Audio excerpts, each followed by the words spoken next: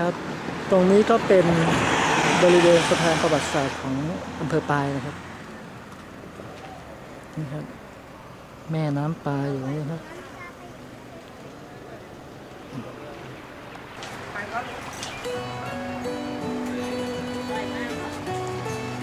สายๆที่ก็เริ่มมีคนแล้วนะครับ คนเริ่มทยอยมาแล้ว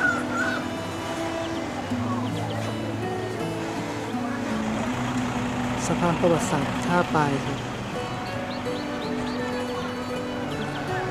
ตรงนี้ก็จะแสดงถึงภาพเก่าๆในอดีตนะครับก็เป็นได้นะครับ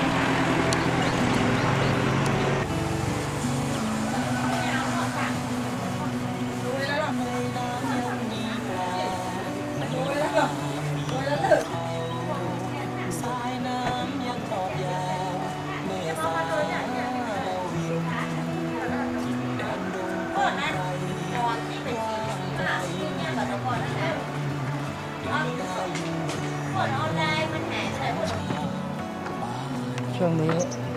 ยุคนยังไม่ค่อยเยอะครับมีเช้าอยู่ตัวนิดนึง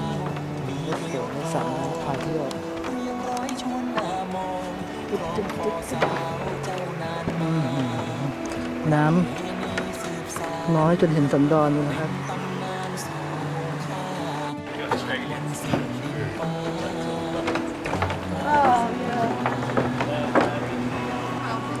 ลายแท็กซี่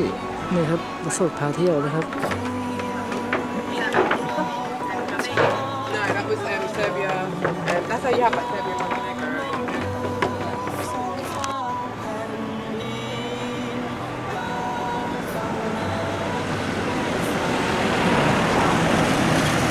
นักท่องเที่ยวบางท่านก็เอามอเตอร์ไซค์มานะครับขี่มาเองเทไปเบา